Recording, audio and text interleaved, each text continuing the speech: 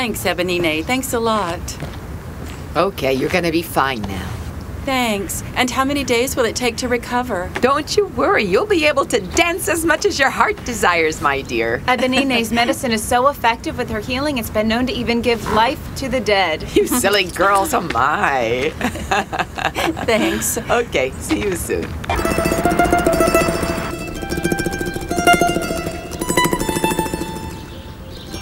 See, this is good for balding. You should use it every other day, 10 minutes before the shower, okay? Friction, etc. I'll write it down for you. You don't need to write it, I get it. Why do they call you Ebonine? Well, it was my mother's nickname. She was also a healer like me. I actually learned everything from her. Oh, Mommy. She was an extraordinary woman. She was tall and fit. She's from Crete. And she settled down right here.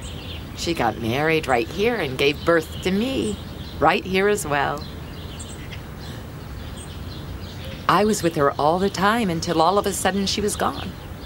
And after she died, townspeople started calling me Ebonine, you know. Ebonine here, Ebonine there. And so then I had inherited my mother's name that way. How nice. A very funny prostitute from Izmir calls me Ebby Nine. Nine means nine in English. So it's Ebby Nine. I'll write Ebby Nine on the plaque of my store when I open it. If you move to Istanbul with those recipes, you'll be famous for sure, I know it. well, I'm already famous here, child.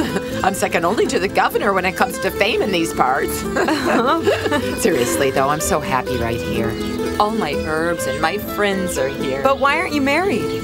Honey, that's the only thing that I can't find any medicine for.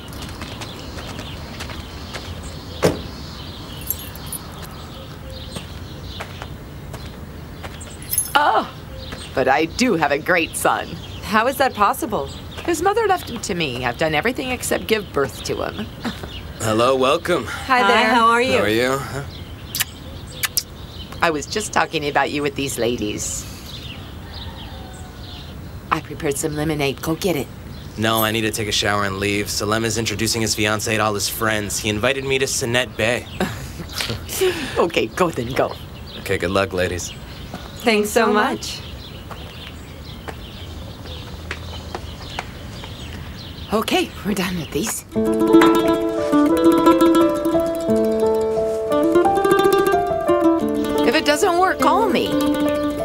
Even if it does work. I'll send some more over to you, okay? Okay, thanks. We'll see you All right, later. goodbye.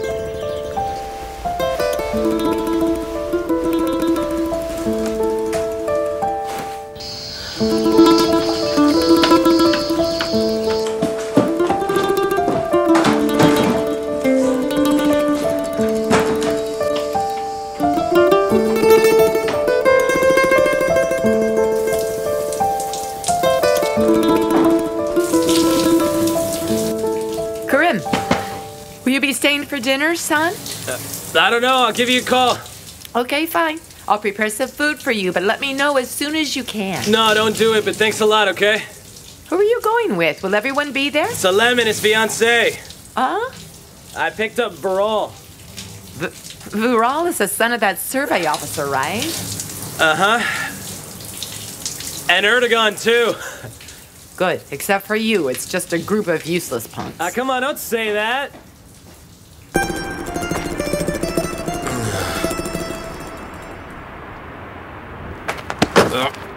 Kerim?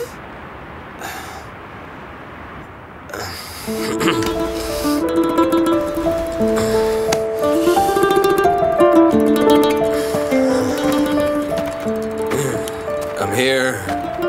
Don't walk by the candles, you'll catch fire. What happened? Did you start drinking in the morning? And you drove the car? Look at yourself. What a pity. I'll break your head before you do. I drove slowly. Tomorrow I'll tell Gollum not to give you the car so you don't drive drunk. You idiot. And you promised me that you wouldn't drive anymore when you're drunk. Okay, I'm really sorry, huh? Come over here, will you? Did you use anything else, huh? Weed or something? Because those bastards use everything. Oh, Marianne, please. Are you feeling sick? Let me make you something to sober you up. Some coffee or something? I'll be okay if I just sit here in the open air, okay? Did you meet with Selim's fiance? How is she? Mm-hmm. What kind of a girl would marry that guy anyway? My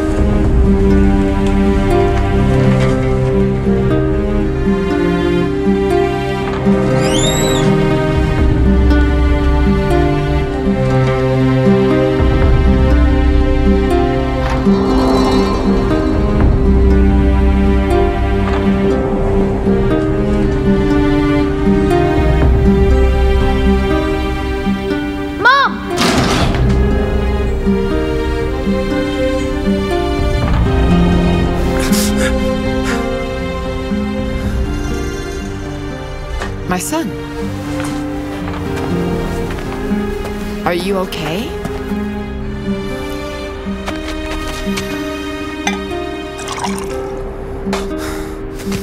Come here. Come, come. Come, my dear. Come right here. Up, up.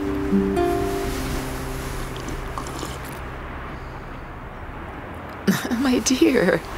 You're all sweaty. No wonder you're having bad dreams. Come on, you can't sleep well here. Go to your room. Go on. Have a good night. Yeah, good night.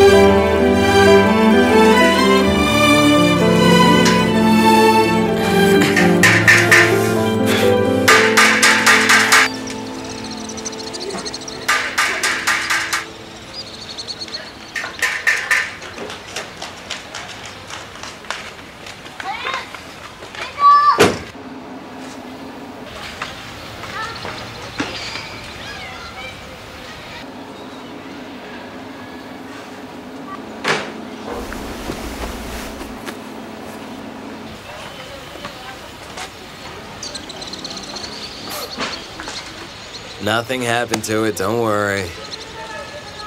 Good morning. Good morning, man. I also put some gas in it. You make all the effort for those guys, don't you, huh? What can I say? But those guys are my friends. Do you think they consider you a friend, too? It's all one-sided, that's what I'm saying, Kerim. Son, they don't care about you, okay? I just wish you would open up your eyes. They didn't even call you once during the winter. They only remember you while they're here, not because they like you, but only because they're taking advantage of you. It's not like that, sir. They have a lot of chauffeurs working for them. And our friendship is something else. Even if we don't see each other for months, nothing changes, okay? You know, let's don't go back. you ever let them be criticized? It's the truth. So, what happened yesterday? I met Vural at the airport. Erdogan came with Mr. Reşat. Selim and his fiancée arrived in the evening. We met. She's pretty. Then we went to the new hotel, where Selim's guests are staying, you know. Well, it's crowded. They have a lot of things to do with the wedding, you know. 83. We had fun, though, you know. I went home, and so did they. It wasn't too late. Will you also meet with them today? No, maybe later tonight. Maybe? You mean if they called you, you get together? Son, I wish you would let them be. They're not exactly your type. One is Reşat Yaşaran's, the other is Rafat Yaşaran's son. There's nothing else to say. Now, come on, don't say that, sir. They're not like their father at all. Hmm.